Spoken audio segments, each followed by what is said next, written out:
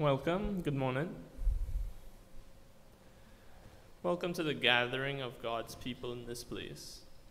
Let us excite one another to spirited worship as we recall all of God's blessings this past week. We will start, to, we will start today with the introit number 27, As a Deer. Can you please stand?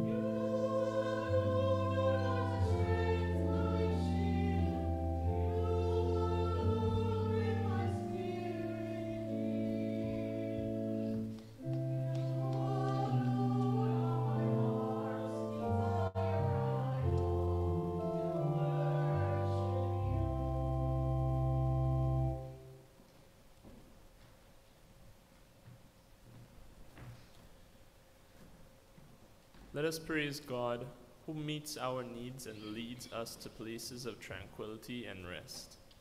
Let us praise God who comforts us the faces of fears with overwhelming Let us pray. Shepherd God, we praise you for enfolding us in your great love. We rejoice in the knowledge that your care for us is so great that we lack nothing. We provide for all our needs, even the strength to cope in times of darkness and distress. The depth of your care for us is revealed in the person of Jesus, who was prepared to go to the cross to prove that your goodness and mercy is more powerful than evil and death.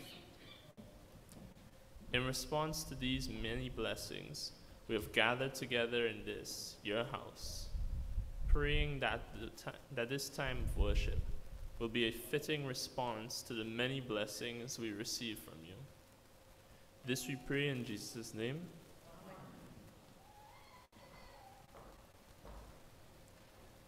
Our chorus of adoration Great is the Lord.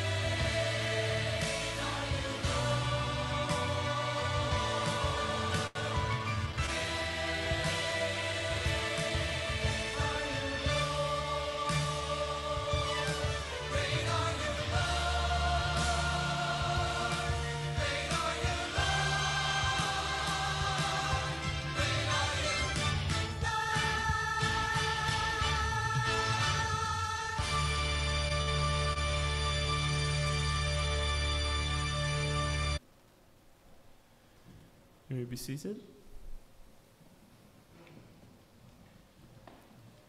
Our first reading, 1st of Samuel 16, chapters 1 to 13, will be taken by Hannah.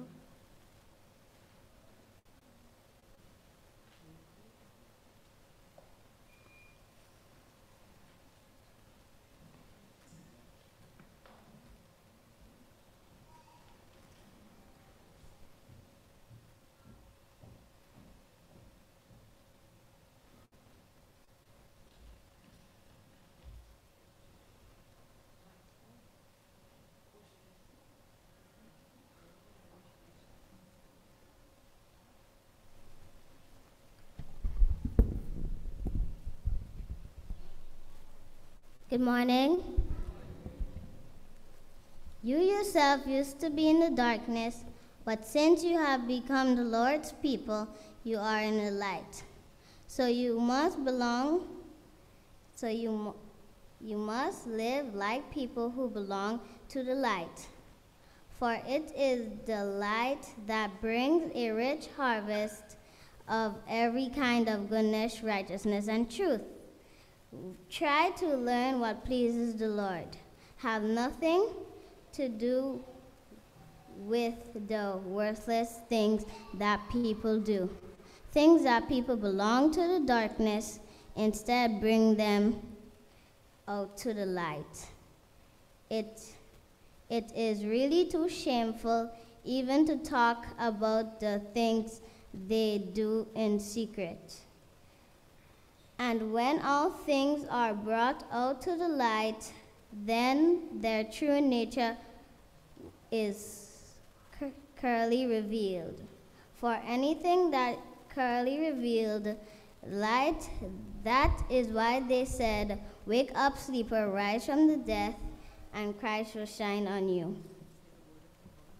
The word of the Lord.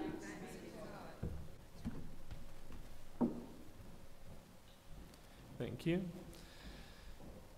We will now have our prayer of confession. Jesus, servant king and light of the world, you penetrate the darkness of the world with your love and your life, graciously enlightening, enlightening us in ways which enable us to see the world and our neighbors as you see them.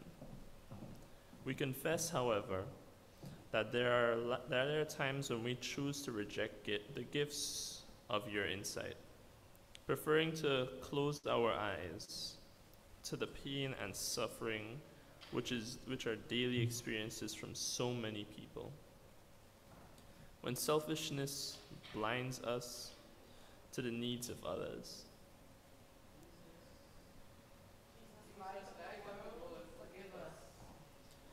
when our insensitivity blinds us to the hurt we cause others.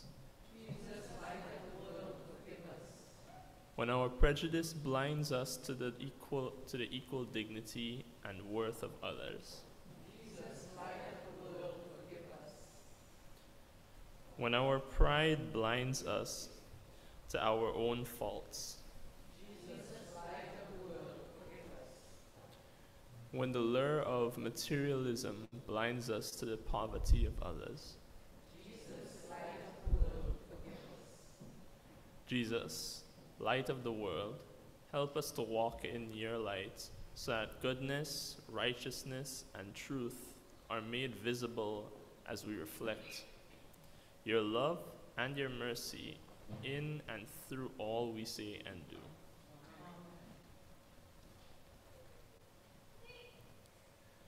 Our assurance of forgiveness. Hear the good news. Once you were darkness, but now in the Lord you are light. Know that we can live as children of the light, because in Jesus, light of the world, we are enlightened, we are healed, and we are forgiven.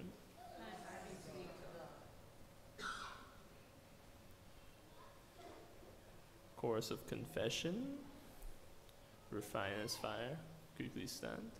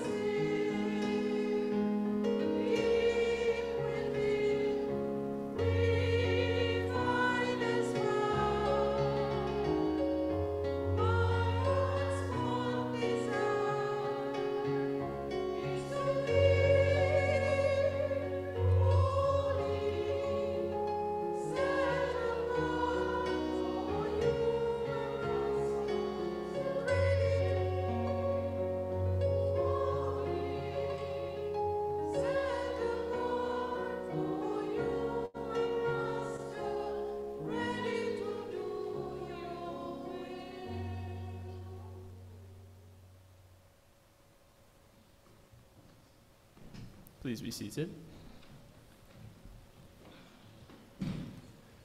We'll now have a song sung by Kirsten called You Say.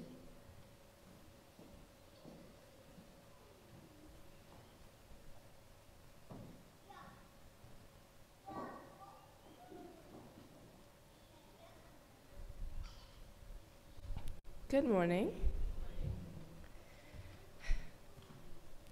everyone good this morning? Yes. Grateful God woke you up?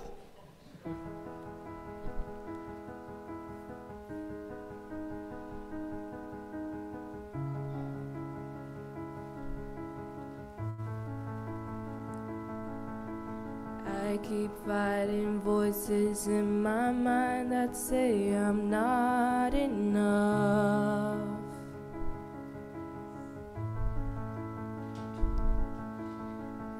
every single lie that tells me I will never measure up.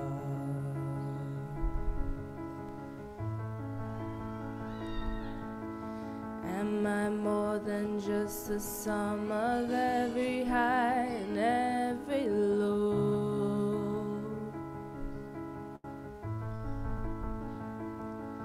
Remind me once again just who because I need to know. Ooh, oh.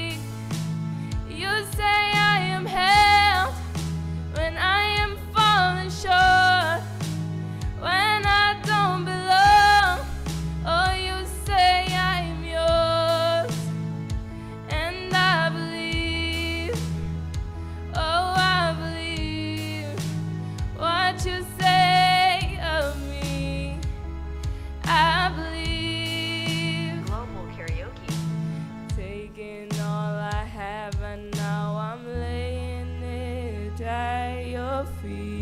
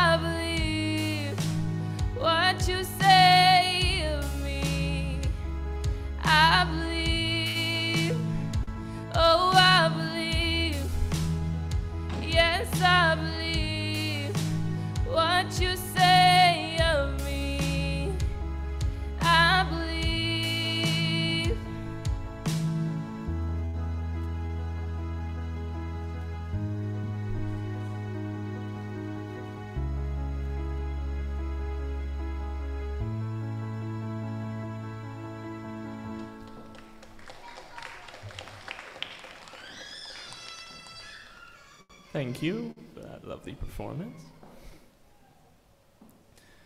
All right, we will dive back into the readings now at our second reading in Psalms 23 God is my shepherd. The Lord is my shepherd, I lack nothing. On green He leads me beside quiet waters. He refreshes my soul.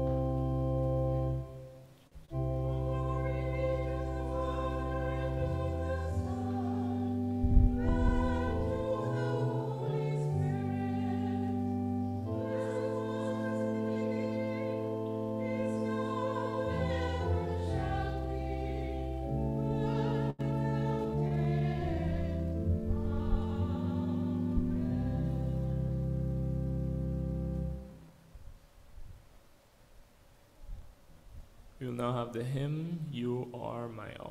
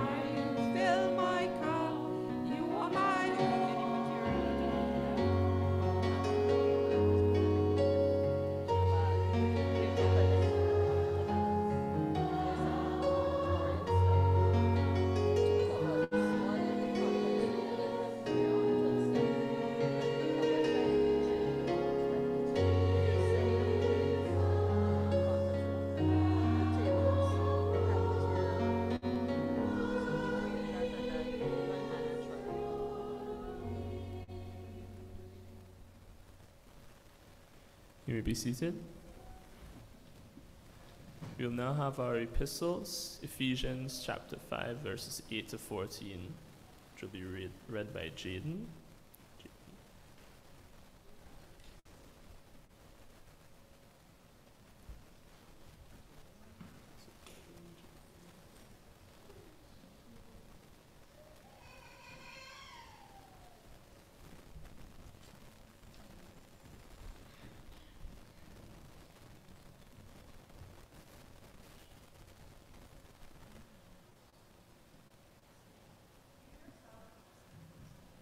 Be in the darkness. But since you have become the Lord's people, you are in the light. You must live like people who belong to the light. For it is the light that brings a rich harvest of every kind of goodness, righteousness, and truth.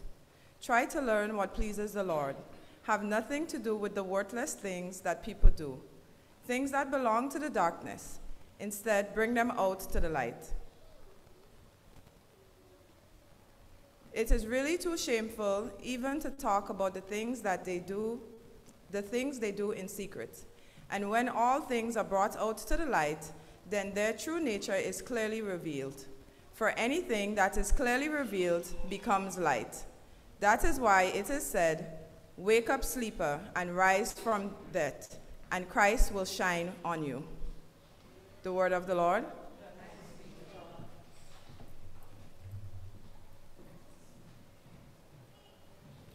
We have our chorus, Christ be our light.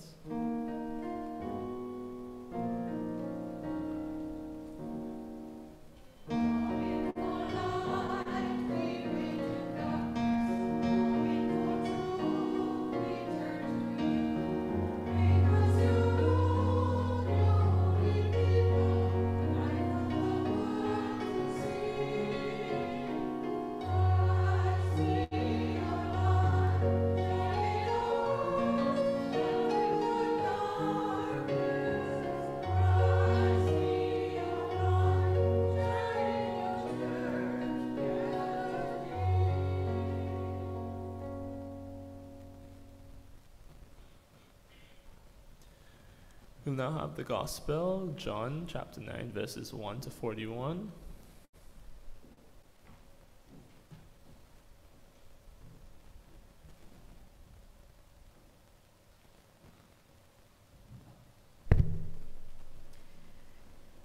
As Jesus was walking along, he saw a man who had been born blind. His disciples asked him, Teacher, whose sin caused him to be born blind? Was it his own or his parents' sin? Jesus answered, His blindness has nothing to do with his sins or his parents' sins. He is blind so that God's power might be seen at work in him. As long as it is day, we must do the work of him who sent me. Night is coming when no one can work. While I am in the world, I am the light for the world. After he said this, Jesus spat on the ground and made some mud with the spittle. He rubbed the mud on the man's eyes and told him, Go and wash your face in the pool of Siloam. This name means sent. So the man went, washed his face, and came back seeing. His neighbors then, and the people who had seen him begging before this, asked, Isn't this the man who used to sit and beg?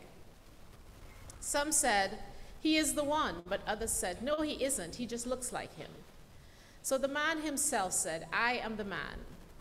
How is it that you can now see? They asked him.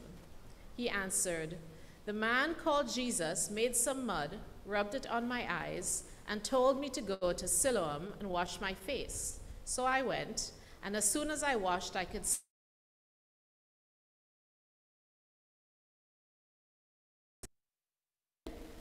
They took to the Pharisees the blind, the man who had been blind.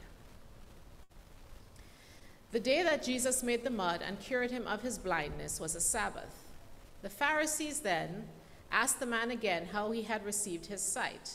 He told them, He put some mud on my eyes, I washed my face, and now I can see. Some of the Pharisees said, The man who did this cannot be from God, for he does not obey the Sabbath law. Others, however, said, How could a man who is a sinner perform such miracles as these? And there was a division among them. So the Pharisees asked the man once more, You say he cured you of your blindness. Well, what do you say about him? Excuse me. He is a prophet, the man answered. The Jewish authorities, however, were not willing to believe that he had been blind and could now see until they called his parents and asked them, Is this your son? You say that he was born blind. How is it then that he can now see? His parents answered, We know that he is our son, and we know that he was born blind. But we do not know how it is that he is now able to see, nor do we know who cured him of his blindness. Ask him, he is old enough and he can answer for himself. His parents said this because they were afraid of the Jewish authorities, who had already agreed that anyone who said he believed that Jesus was the Messiah would be expelled from the synagogue. That is why his parents said, He is old enough, ask him. The second time they called back the man who had been born blind and said to him, Promise before God that you will tell the truth. We know that this man who cured you is a sinner. I do not know if he is a sinner or not, the man replied. One thing I do know I was blind, and now I see. What did he do to you? They asked. How did he cure you of your blindness? I have already told you, he answered, and you would not listen. Why do you want to hear it again? Maybe you too would like to be his disciples? They insulted him and said, You are that fellow's disciple, but we are Moses' disciples. We know that God spoke to Moses. As for that fellow, however, we do not even know where he comes from. The man answered, What a strange thing that is. You do not know where he comes from, but he cured me of my blindness. We know that God does not listen to sinners. He does listen to people who respect him and, and do what he wants them to do. Since the beginning of the world, nobody has ever heard of anyone giving sight to a person born blind. Unless this man came from God, he would not be able to do a thing. They answered, You were born blind and brought up in sin, and you are trying to teach us? And they expelled him from the synagogue. when Jesus heard what had happened, he found the man and asked him, Do you believe in the Son of Man? The man answered, Tell me who he is, sir, so that I can believe in him. Jesus said to him, You have already seen him. He is the one you are talking with now. Who, he is the one who is talking with you now.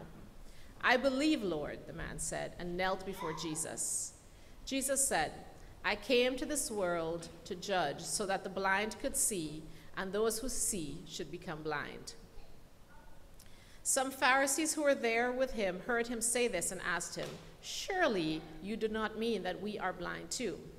Jesus answered, If you were blind, then you would not be guilty. But since you claim that you can see, this means that you are still guilty. The gospel of our Lord Jesus Christ.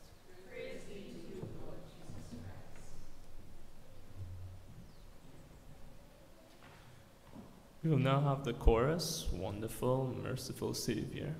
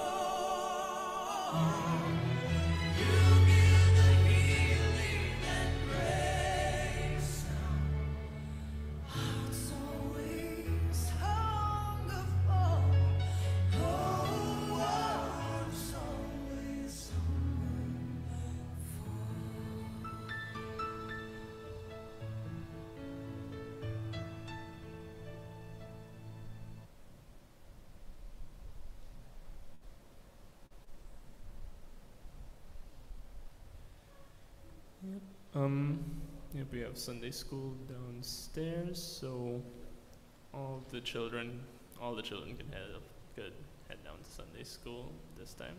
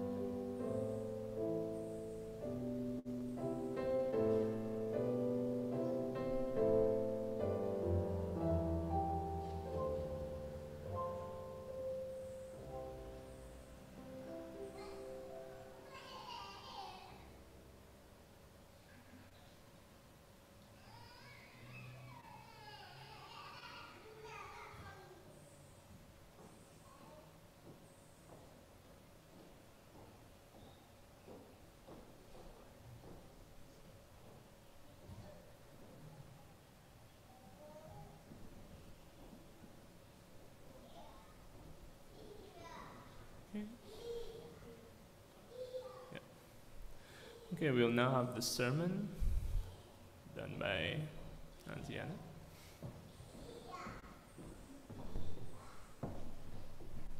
Good morning, everyone. For the persons who are, the, well, there's a time when we welcome visitors, but I'd just like to say this for those of you who may be a little puzzled. The third Sunday in every month is young adults and youth service. So the, the youth take charge, or the, the younger adults take, the children, youth, and younger adults take charge of the service. It's not usually done by Reverend James and it's a contemporary service. So if you find many of the songs you were not able to join in, the intention is to do worship songs, contemporary songs, and gradually we were getting back into them because you know COVID and everything happened. So we be patient. We'll get there eventually.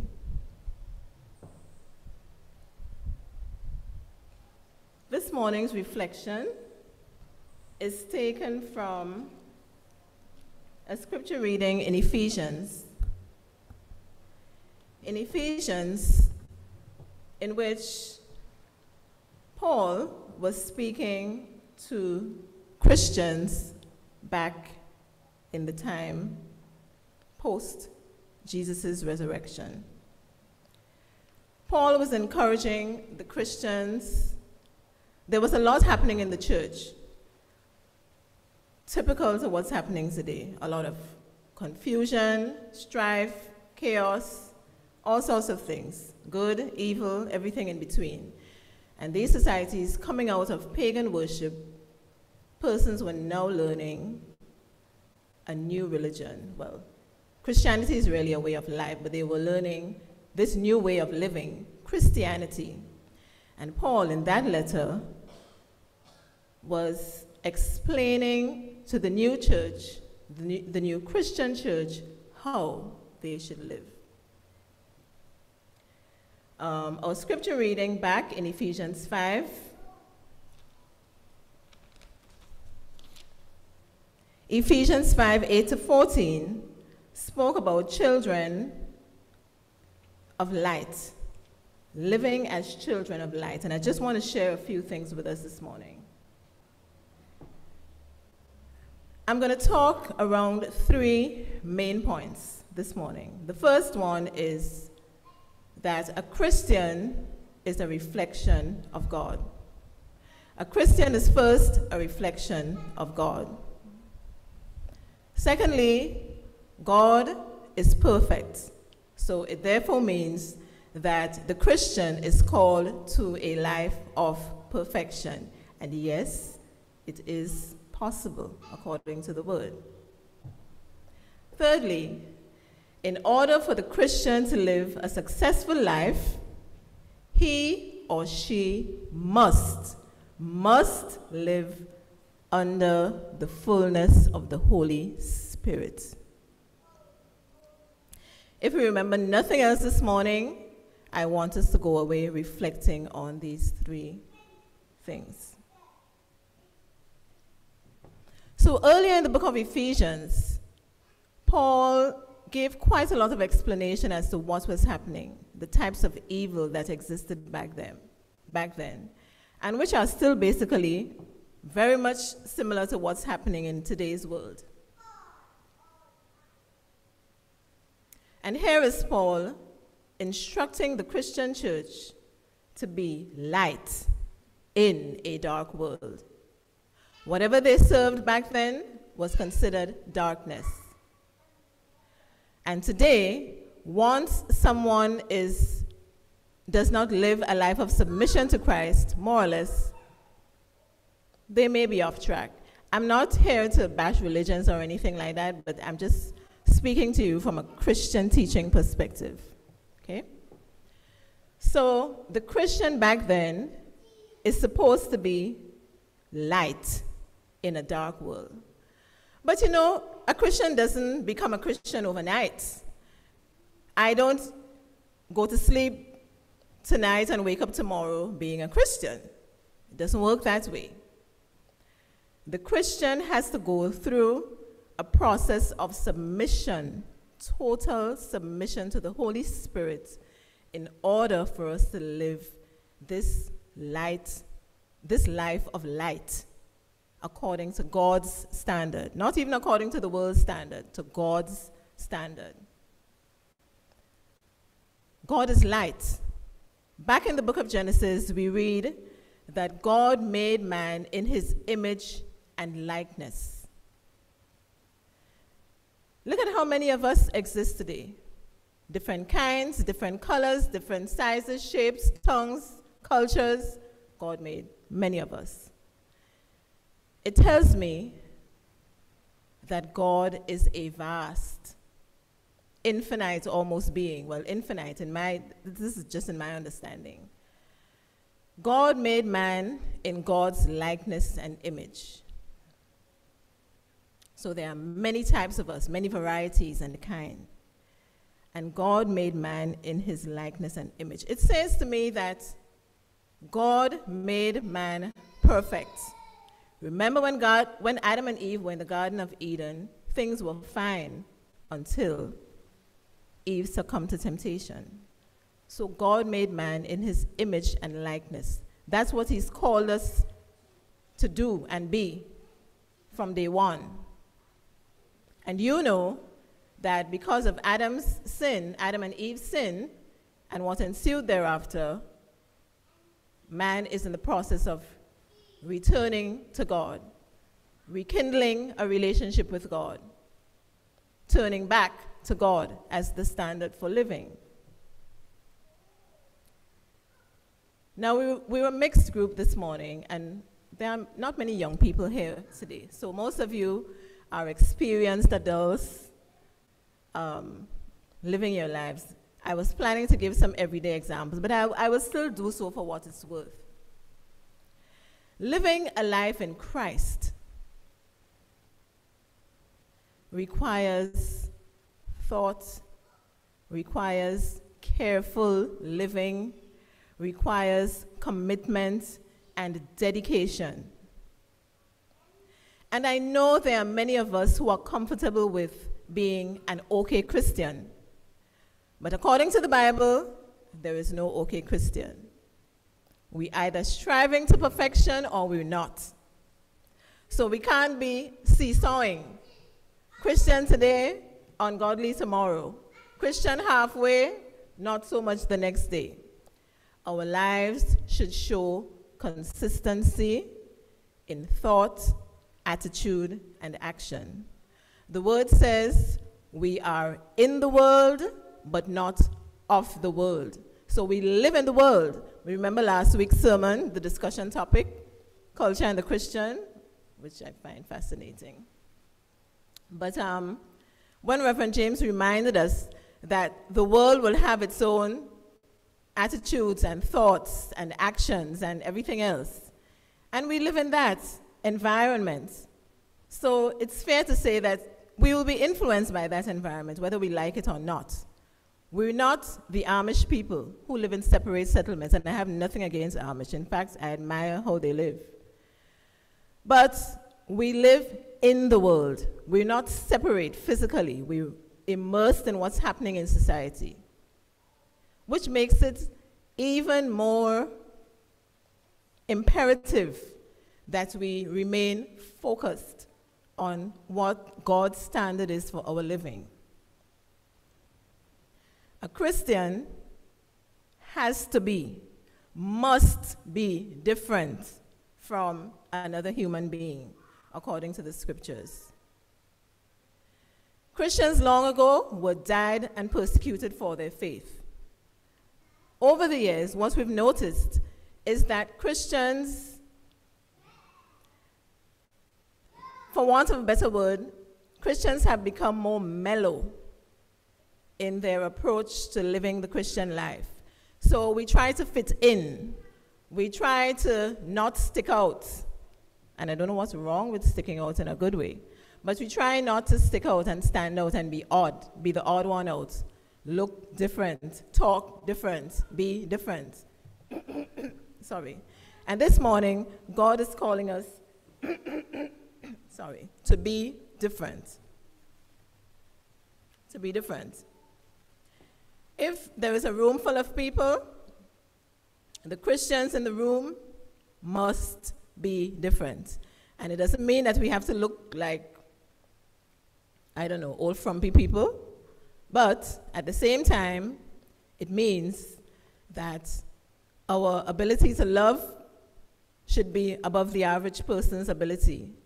Our ability to, to be kind should be above the average person's kindness the ability, our ability to endure, you know, like the fruit of the Spirit. It's all worked in, as we doing, we're doing in Bible study now. It's all worked in. Our, the things, the fruits of the Spirit, and like I said, we have to be totally immersed to live this life successfully and consistently. Those things have, those characteristics must stand out. If they're not standing out, it probably means we're not strong enough Christians, or we're not totally submitted Christians. We like the we like the pot of soup where you know the vegetables keep popping up on top. So let's say the pot of soup is the is the Holy Spirit. And to be like the Holy Spirit, like God, we have to remain underneath the water. The soup is to be totally pervaded by all the ingredients that the Spirit has to offer. We stay in there. But when we want to do our own thing or decide when we're going to be a Christian and when we're not, is when we keep popping our heads outside of the water, doing our own thing, and then going down when we're ready. The Christian life calls for us to be always under the submission of the Holy Spirit. And I know worldly attitudes and standards say man is boss, we could do what we want anytime we want, a woman could whatever. That is not God's standard for living. So we are in the world, but we're not of the world. A Christian having, a, for example, a party, a fete. The fete cannot be a typical fete. It cannot be a fete where the party goers come out drunk and having to have a hangover, that is the extreme side of and the Bible never says Christians can't have fun and can't dance to music and enjoy good music and whatever, whatever. It just means that we have to be always careful about how we live.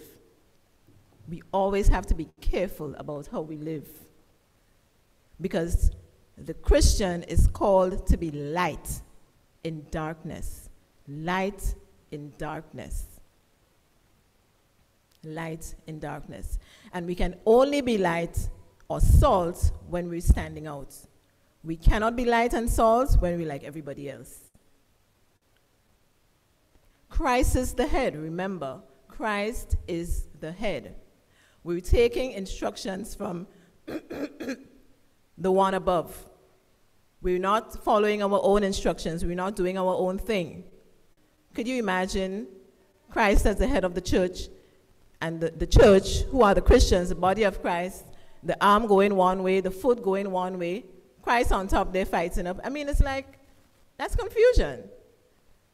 Two feet trying to go forward, the hand trying to go backward. It's, it's, it's a picture, and you know, I like to picture things in my mind. That's how I get concepts.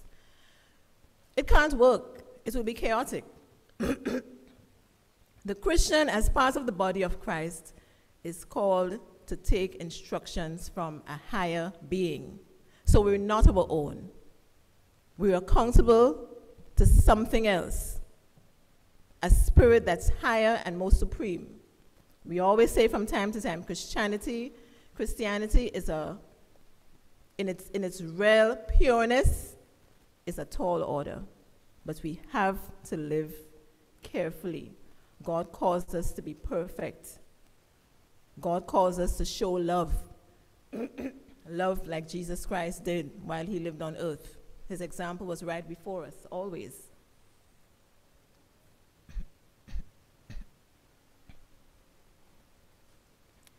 so I'm saying all of this to say Christian light is important.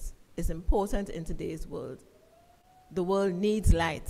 We've been singing songs of light throughout the service so far. And you know, those services are usually well worn together. The song that Kirsten sang, You Say, it can be done. It can be done. The world's attitude says we're nothing. When we make a mistake, it's like we're the worst person, we're the worst thing, we can't come out of it. God says, No, that's not so. I called you, and I called you to a higher calling. I called you to be perfect. We have to strive. We have to strive to that excellent calling of Christian living. For the Christian, we have to walk in light. A Christian cannot live in a neighborhood and is not on terms with, with, with his neighbors. That's impossible. Something is wrong. Something is wrong. Yes, you can't control the neighbor's um, behavior, but we control, we could control our response and how we behave. So let us err on the side of love and what is right. I'm just giving some practical examples, but these are things you already know. This morning, I want us to go remembering that God is calling the Christian to be light. The world is in desperate need of light. Light in a true way. Not a matchstick, not a matchstick flame, not a candle flame, but a big, bold, bright light that can stay lit. Not flickering and outing sometimes, but always lit. That's how God wants the Christian to be. To do that, we need to remain under the submission of God. Spirit. Which means we need, we need to nurture that relationship with God. However we choose to do it, that's up to us. But the directives are there in the good book. Through prayer and meditation and reflection, so there's a difference between a Christian and a good moral person. The difference is the Christian's life is supposed to be a life that's submitted to God's will. The good person is good morally, they'll do good things. In fact, there are sometimes good moral people show up Christians, so called Christians, in a lot of ways. But the Christian's life is a consistently positive and holy life. We separate. We're in the world, but not of the world. Don't forget that.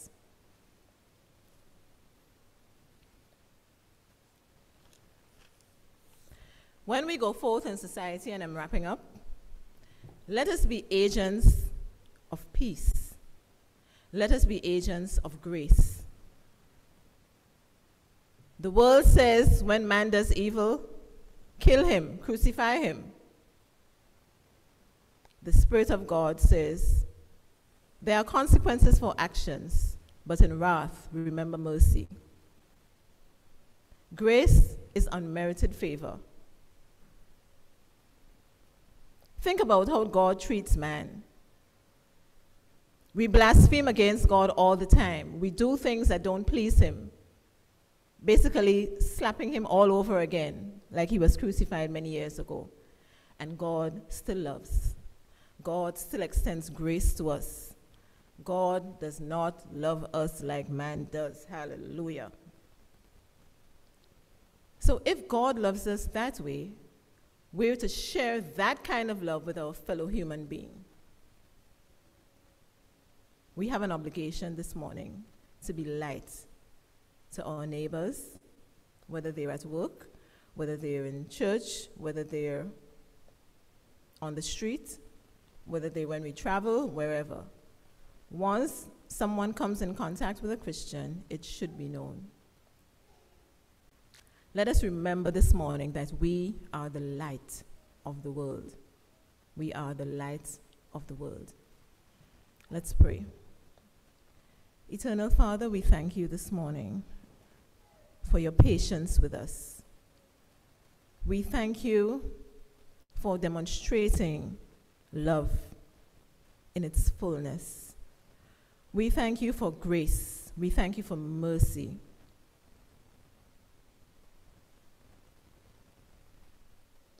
We thank you for a love that will not let us go. God, there are so many distractions around us daily. So many. Sometimes we are even our own worst enemy. But God, you said that when we renew our minds through you, we can live lives of victory. We can overcome. So help us to go reflecting and remember that even if life is tough, your peace is going to stay with us. Even when things go wrong, you will be our solid rock, our refuge, our strength through difficulties. Thank you for your love. Thank you for your grace.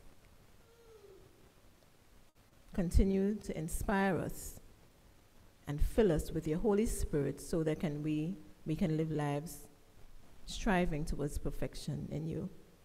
In your name I pray. Amen.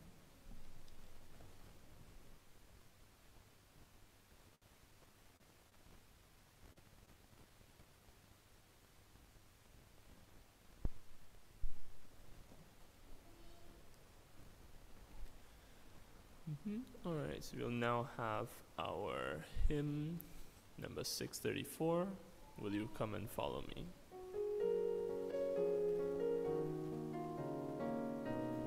Please stand.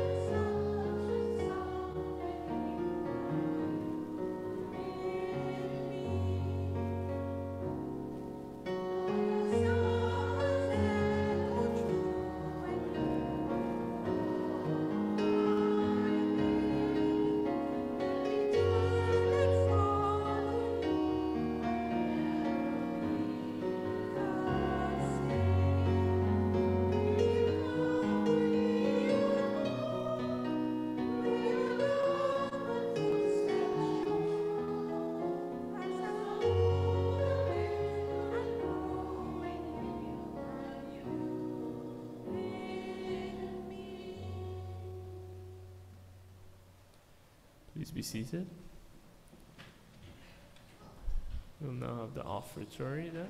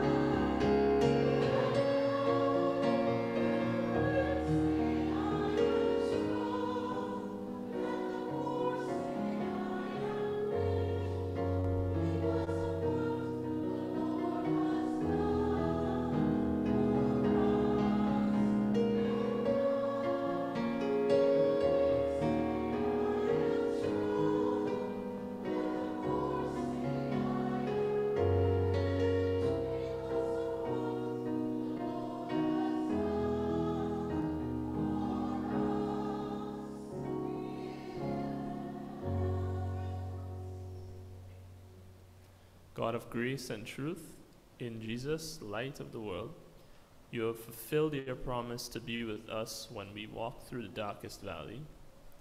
Our gratitude for this evidence of your love for the world is made visible in these our offerings.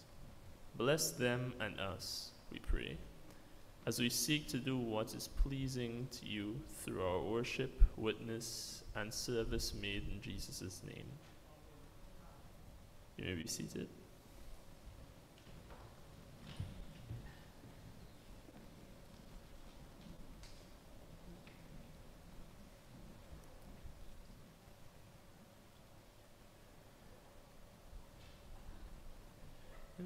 Do we have any testimonies?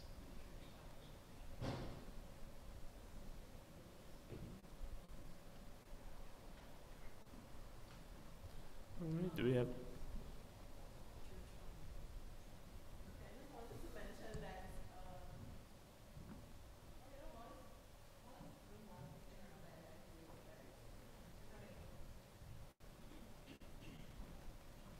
testimony doesn't have to be spectacular. You know, in case we, we have that in the back of our minds, it, it's, it's ordinary day to day things. But um, I want to thank God for persons who have not been well and are recovering. I know Maria is one of them, Latouche. Um, she's coming on slowly, for those of you who may want to know. Um, so we thank God for small mercies. Um, there may be others of us who may not be here, but God has provided in some way or another, and we're truly grateful. We don't take these things for granted. I'm thankful that we have Reverend York with us this morning. And um, yes, And um, I, I think I saw maybe the couple sitting behind Victoria. I personally don't really know them. I think I've seen the gentleman's face. But um, welcome, and we thank God that you are here. Um, let us worship, worship Him in a way that will please Him, and um, keep coming. Church has never hurt anyone. We can only move upwards by attending. Thank you.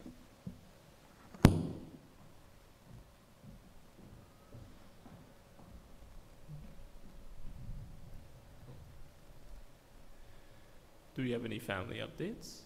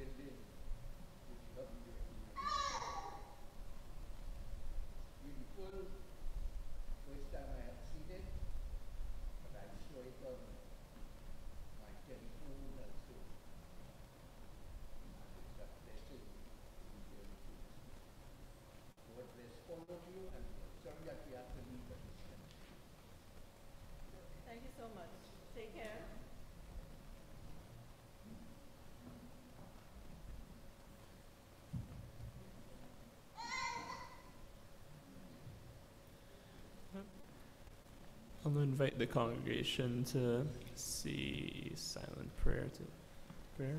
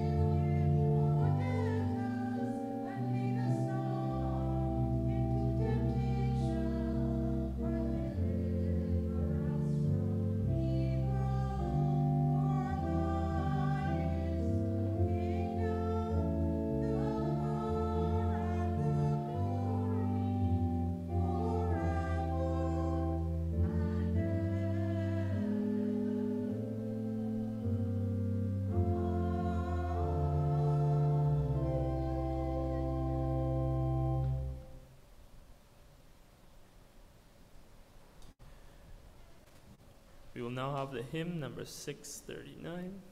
We are marching into the light of God.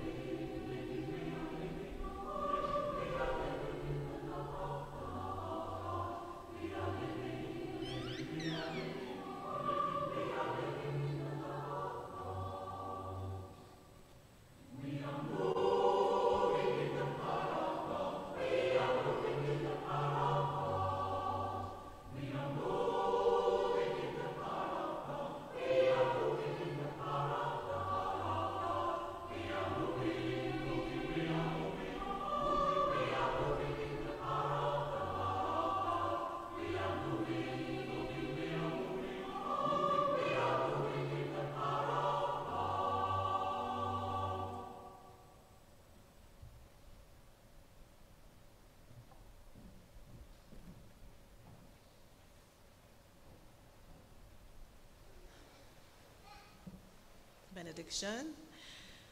God, the blessed and only ruler, the King of kings and Lord of lords, who alone is immortal and who lives in unapproachable light, whom no one has seen or can see.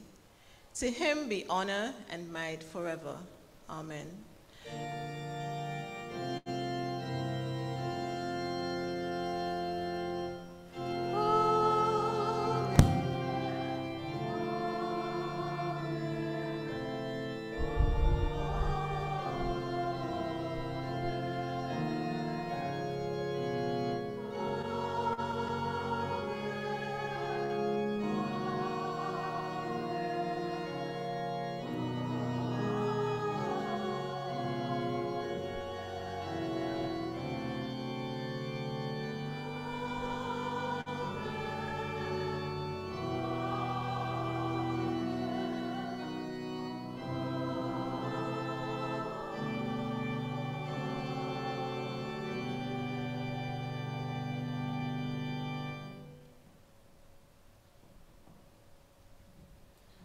Please be seated.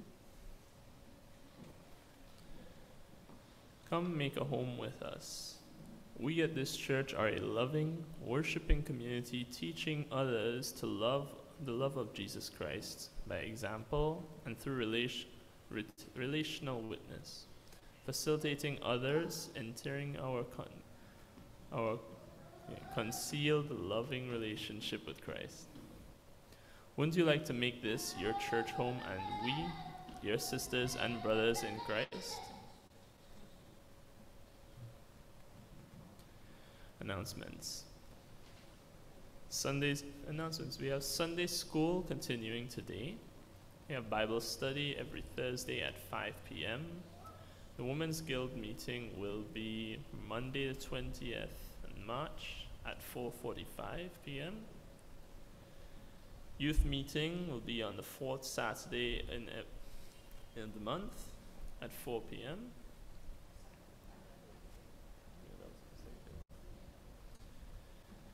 Young adults, young adults will be on the second Sunday after the service. And save the dates for these. April the 2nd will be the Easter will be the Easter program here at the church beginning at 3 p.m. sharp. And April the 8th will be the baked goods sales in front of the Real Value supermarkets. Any other announcements?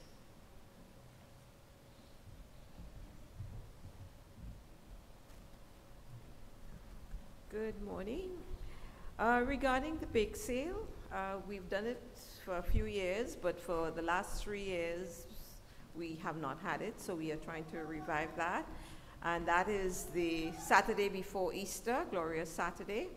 Um, there is a notebook at the back. Please put a name and a contact, and if there's anything you would like to contribute towards that big sale. And of course, please invite your friends and family to support us as we continue this sale. Thank you.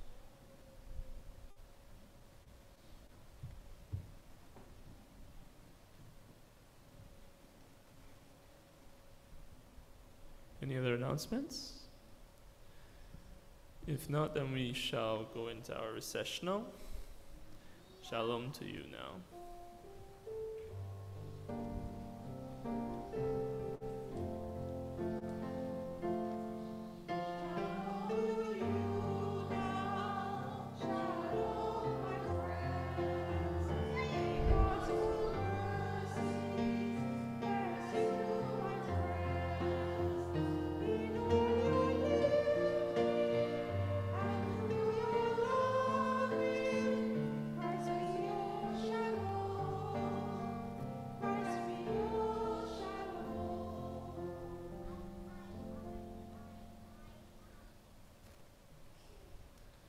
Yourself made in the image of God, and may the peace of God be with you always.